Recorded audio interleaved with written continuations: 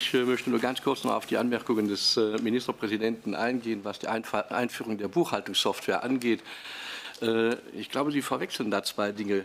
Das eine ist die Vorgabe der EU, dass die Gemeinden diese Normen einhalten müssen und sich, was die Buchhaltung anbetrifft und Buchführung anbetrifft, umstellen müssen. Das ist eine Geschichte. Die Frage, welche Software genutzt wird und wie sie genutzt wird, das ist eine ganz andere Geschichte und da gibt es keine Vorgaben seitens der EU.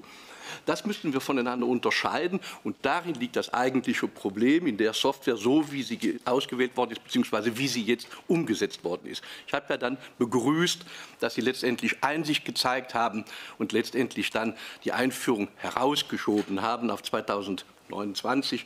Ich denke, dass es dann zumindest so äh, sein müsste, dass das auch für alle im Gemeinderat auch verständlich sein wird.